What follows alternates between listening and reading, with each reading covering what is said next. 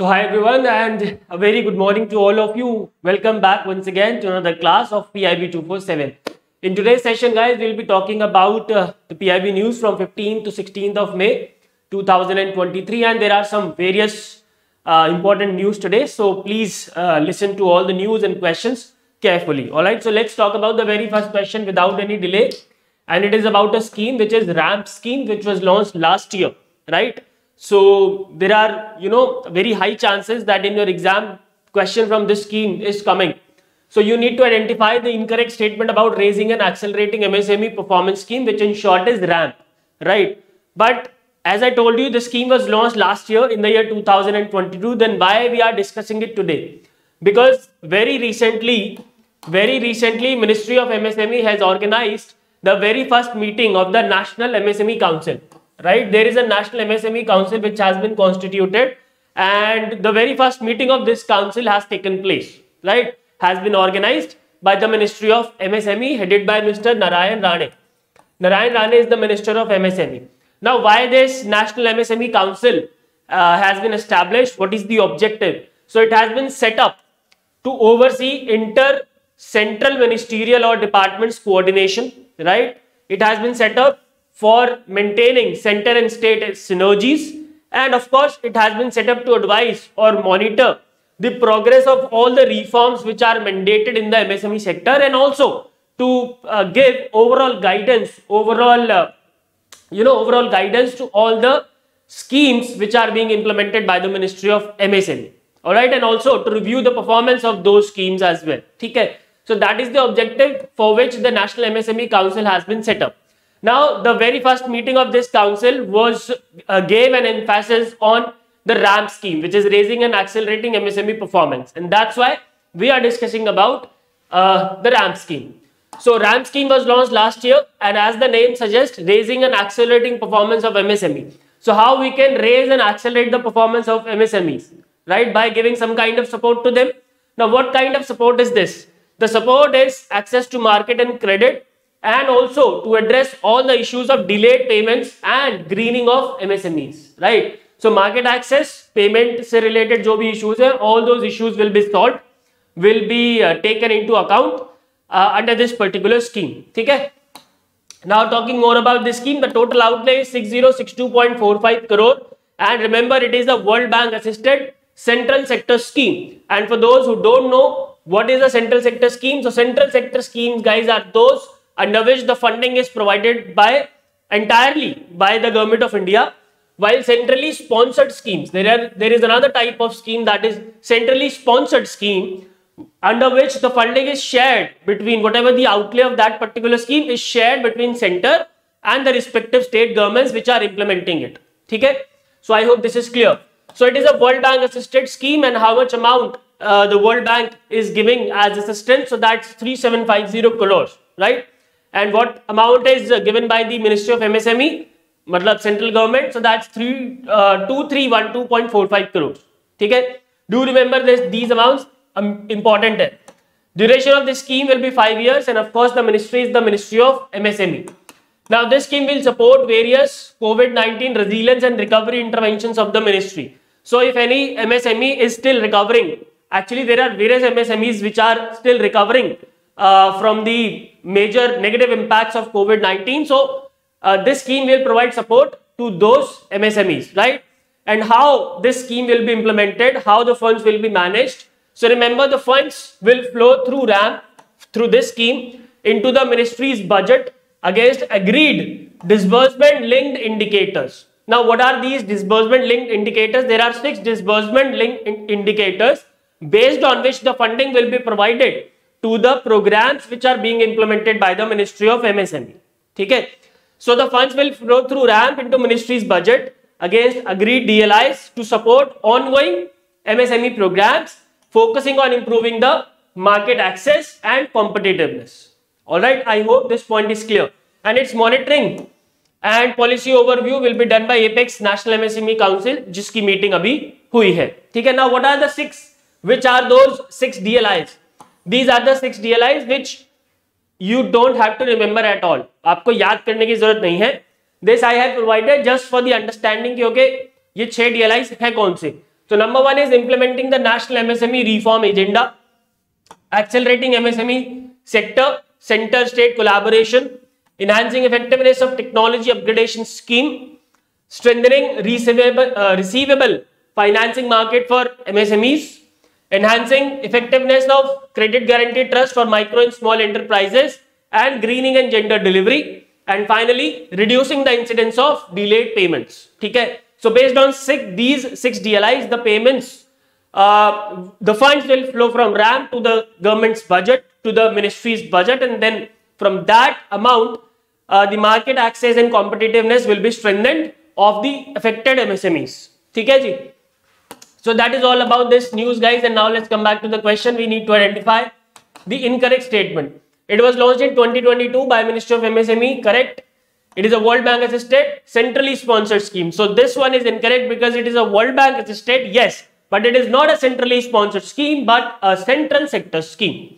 Which means the correct answer, guys, to this question will be option B. Alright? Let's move ahead to question number two. और आज का session थोड़ा सा लंबा होगा तो प्लीज सुनते रहे चुपचाप से where has the startup India which work of course under DPIIT and DPIIT work under the ministry of commerce and industry headed by Piyush Goyal organize the edition of S C O startup forum in physical format for the first time so this was the third edition of S C O startup forum before this the two formats have been conducted have been organized in virtual format so this is for the very first time that the sco startup forum has been conducted in physical format ठीक है so remember it has been organize in New Delhi it has been organize in New Delhi and of course the objective were to expand the scope of startup among the O member nation and also to nurture the spirit of innovation and generate more employment for the youth right it was organize in the form of first ever physical mode जो कि मैंने आपको already बता दिया other than this इसमें आपको कुछ भी ज्यादा पढ़ने की जरूरत नहीं है there is no need And therefore, the correct answer is option E, New Delhi. What is the correct answer? Option A, New Delhi. Let's talk about question number 3 All right, so which ministry or ministries will be developing the carbon credit trading scheme to develop the Indian carbon market? Right carbon credit trading scheme develop की जाएगी अभी की नहीं गई है सो so, जितना भी news में था I have covered everything but in future when this scheme will be launched we will discuss it in much detail okay so it is the bureau of energy efficiency which works under the ministry of power in collaboration with ministry of environment forest and climate change ministry of power is headed by mr rk singh and ministry of environment forest and climate change is headed by mr bhupendra yadav okay so both these ministries are developing the carbon credit trading scheme and from the ministry of power side the nodal agency is bureau of energy efficiency do remember this as well ठीक है now the objective of the scheme will be तो नाम से clear है ना carbon credit trading scheme which means this scheme will be developed for trading of the carbon credits ठीक है so to decarbonize the indian now what is the meaning of carbon credit by the way so let's say there is a there is a company x ठीक है और उसको carbon emission का कुछ target दिया था गवर्नमेंट ने right let's say कि फिफ्टी uh, यूनिट्स uh, का टारगेट था कि आप इतना एमिशन कम करोगे ठीक है बट वो फोर्टी फाइव यूनिट कम कर कर पाया राइट तो फाइव यूनिट जो थे वो बच गए right and now let's say there is a company Y it was also given the target to reduce the emission by 50 units but it has reduced the emission by 55 units so it has reduce the by extra five units ठीक है so this company X can buy these extra five carbon credit so ये इसके लिए carbon credit हो जाएगा this company Y के लिए and to balance out this ठीक है टू बैलेंस आउट दिस ये वाला जो एक्स का पांच रह गया है this X company can buy these five carbon credits from this company Y ठीक है तो इसीलिए अब क्योंकि उसको खरीदना पड़ेगा तो पैसे देने पड़ेंगे ठीक है तो इसीलिए कंपनीज मोटिवेट होंगी कि वो कार्बन की एमिशन को ही कम करें right right? So that, that is the meaning of carbon credit, right? So the objective is of course to decarbonize the Indian economy by pricing the greenhouse gas emission through trading of the carbon credit and it will enhance the energy transition efforts of course with an increased scope that will cover the potential energy sector of the nation and for these sectors greenhouse gas emissions intensity benchmark and targets will be develop ठीक है देखो जो green house gas emissions के target है वो develop किए जाएंगे because the scheme has not been officially launch right now and these targets will be aligned with the India emission trajectory whatever India target are ठीक है so that is all about this so the correct answer be what correct answer will be ministry of power and environment forest and climate change which mean option D will be the correct answer option D will be the correct answer question number four Which ministry has organized the G20 conference on crime and security in the age of NFTs, which is non-fungible tokens, AI and metaverse in Gurugram in Haryana under India's G20 presidency. Okay? So this ministry is the Ministry of Home Affairs headed by Mota Bhai Amit Shah. Okay, ji? So the Ministry of Home Affairs has organized the G20 conference on crime and security in the age of NFTs, AI and metaverse in Gurugram in Haryana. Now remember there, uh, the partnership was there from other ministries and organizations as well. Ministry of Electronics and IT, External Affairs, National Security Council Secretariat and CBI. Okay? CBI is Central Bureau of Investigation. I hope you all know this. And there are certain other organization, uh, organizing partners like Rashtriya Raksha University, National Forensic Science University, National Law School of India University, Interpol and uh, United Nations Office on Drugs and Crime. Theek hai, this much information is enough and hence the correct answer will be Ministry of Home Affairs, option D. Let's talk about question number 5. Ministry of Port, Shipping and Waterways has secured the second position among 66 ministries in Data Governance Quality Index assessment for financial year 23 quarter 3. Quarter 3 is December quarter with score of uh, 4.7 out of 5.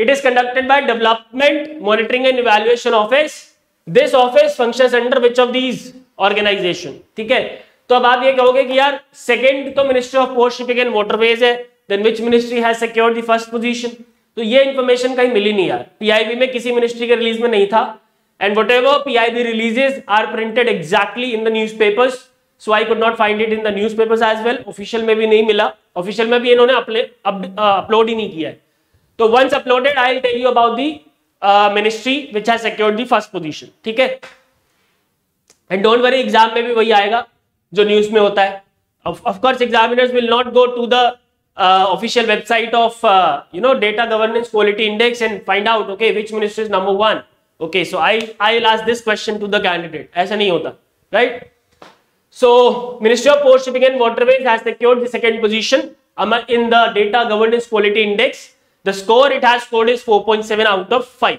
Okay?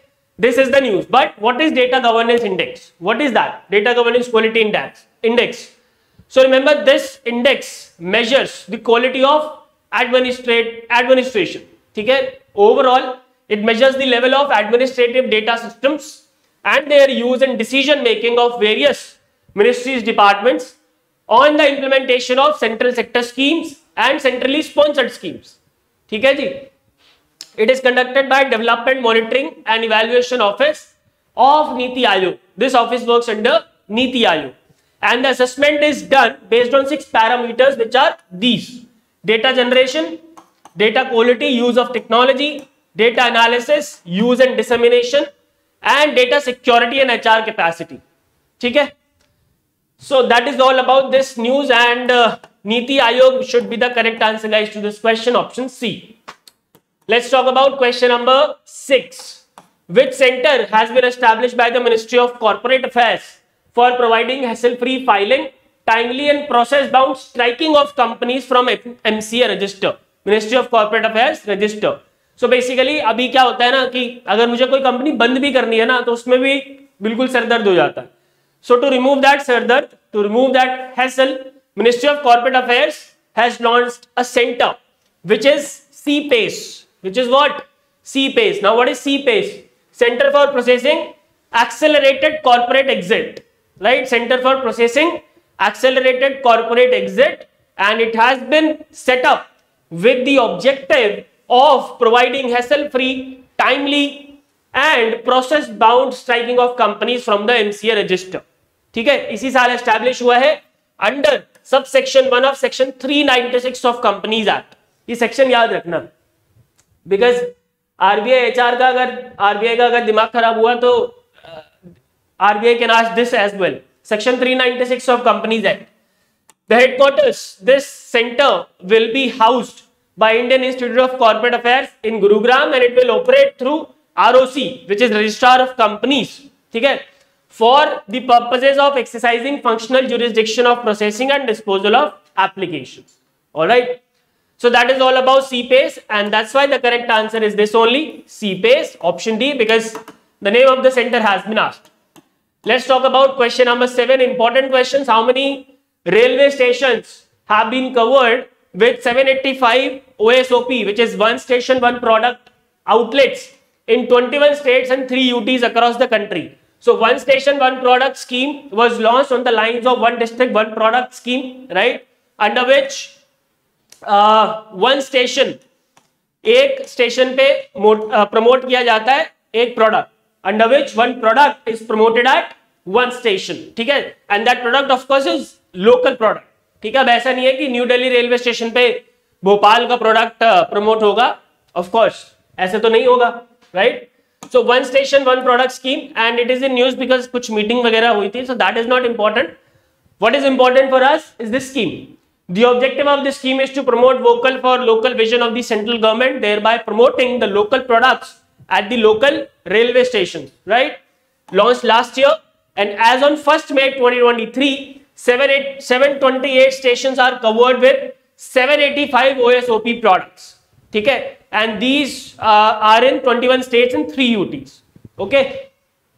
Now talking more about it.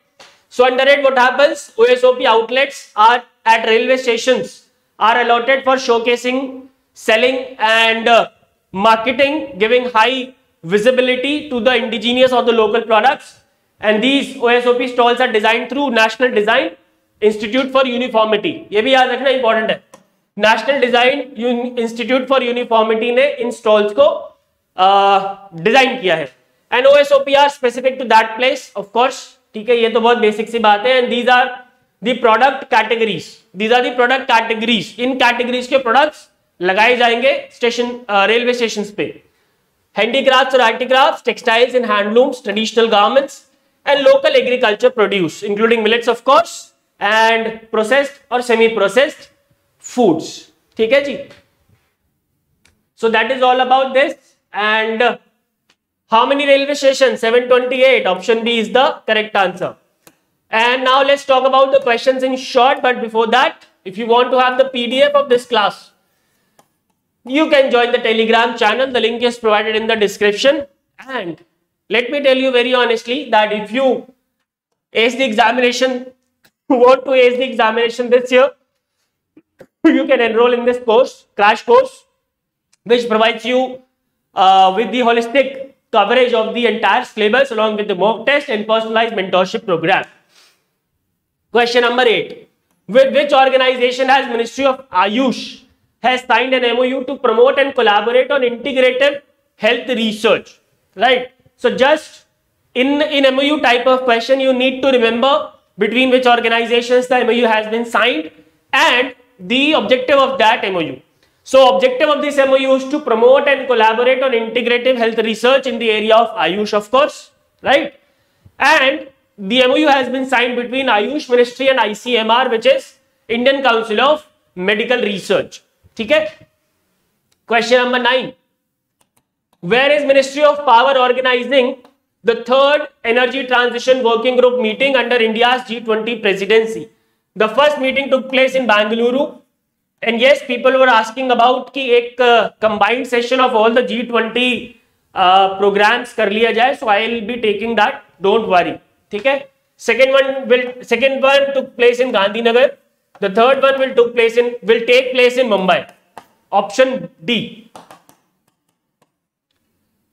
uh, which project has been adopted during the 8th meeting of agriculture ministers of sco under the S C O presidency of India right so इन्होंने बस नाम बताया project का उसके बारे में कुछ detail बताई नहीं है सो so, कुछ डिटेल आएगी तो will discuss in detail but अभी के लिए the name of the project is smart agriculture project to make the agriculture smart question number eleven the twenty ninth biannual conference of all India primary teachers federation Akhil Bharatiya Shiksha Sangh अधिवेशन ठीक है been held. So it took place in Gandhinagar. Option C once again is the correct answer.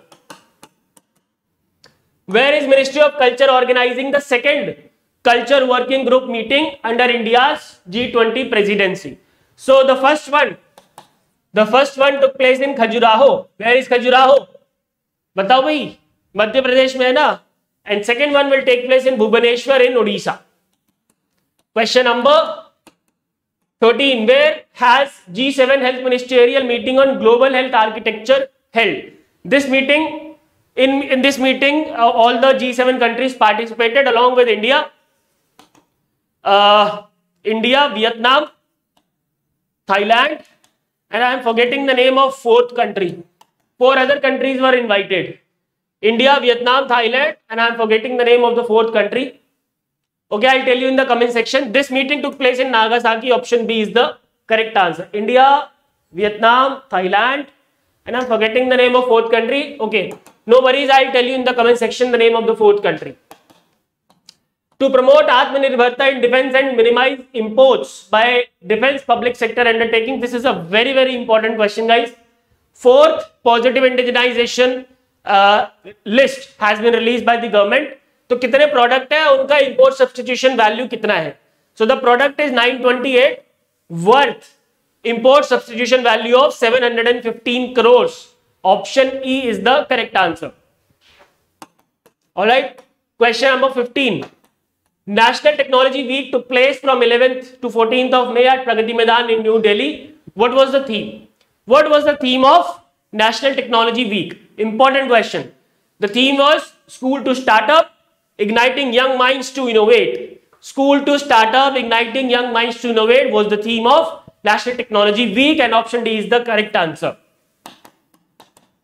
16. Ministry of Power has constituted a group for development of electricity market in India under the chairmanship of Mr. Alok Kumar, who is the secretary in the Ministry of Power, with representation from Ministry of Power, Ministry of New and Renewable Energy, Central Electricity Authority, CERC, Electricity Regulatory Commission, Grid Controller of India, along with state governments of which of these states? कौन कौन से state governments थी इस committee में? So it, uh, you know, uh, the state governments of Maharashtra, Madhya Pradesh and Tamil Nadu were there. And that's why the correct answer is again option D, 1, 3 and 5. Question number 17, Ministry of Power has notified uh, electricity promoting renewable energy through green energy open access rules 2022 to further accelerate india's ambitious renewable energy programs with the objective of ensuring access to affordable reliable sustainable and green energy for all these steps are a major step towards india's ongoing green and cutting emissions by what percent in line with india's updated nationally determined contribution target for which year so very easy question bahut baar padha hoga aapne 45% in 2030, right? And guys, the last question for today, which portal or portals have been developed by the Ministry of Environment, Forest and Climate Change to create a structured reporting format that can track the progress being made on Mission Life, Lifestyle for Environment. So these are the two portals, Mission Life and Mary Life, right? These are the two portals, Mission Life and Mary Life portal which have been launched and that's why the correct answer is option D ठीक है जी और fourth country का नाम अभी भी मेरे को याद नहीं आया but I tell you in the comment section alright sir is all for today and I hope all the question and their explanation are clear if you have any doubt you can ask me in the comment section thank you so much and I will see you in the next session on Friday good bye take care and God bless